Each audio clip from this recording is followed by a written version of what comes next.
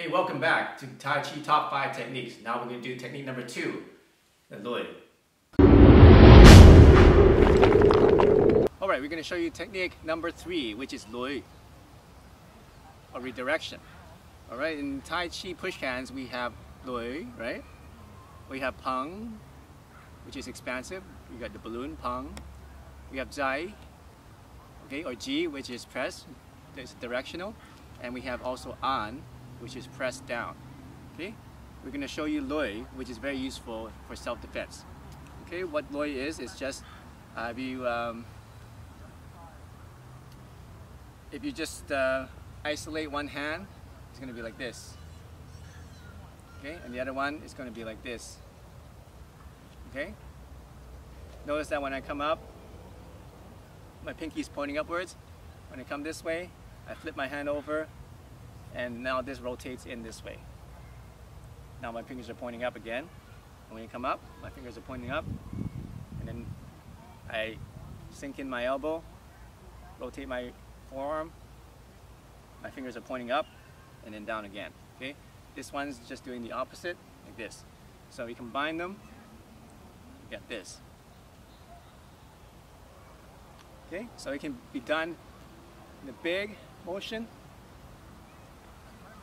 full circle. It can be just done in the middle. Notice that I'm rotating my hands as I come back.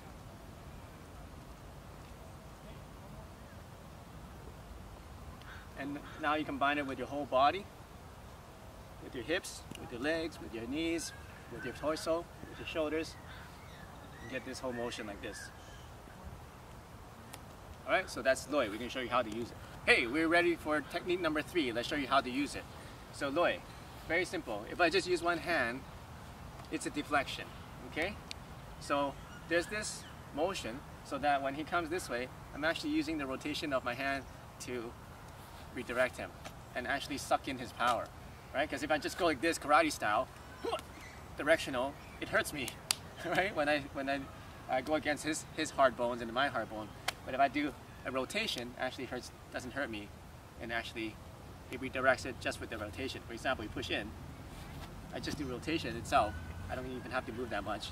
That itself, the rotation, will redirect him. Okay, so the first thing is just this one. Now we combine it with this one.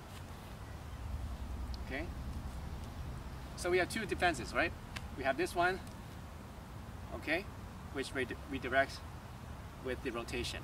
And we have this one, which also redirects and yeah, now you're able to grab him too. So if you combine both of them, now you have good control, two against one on his arm. At this point, you can keep continuing with that motion and bring him down, like that. Okay? If he really leans, leans in, then you can keep continuing and just keep going, keep going, keep going until it goes down. Okay?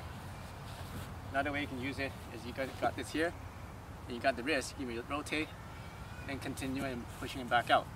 So if you continue this motion, that's what it does, right? So you got. Come. Okay, get, him off balance, and once you go here, push back up. Okay, so now you got this motion. Alright, so it's a very simple technique, but very useful. Um, so use it well. Hey, thanks for watching Top 5 Tai Chi Techniques. You want to watch the next video, just click on the video box here, or you can check out some of my other playlists. If you haven't already, make sure you subscribe to my channel and click the button right here. So I'll see you in the next video.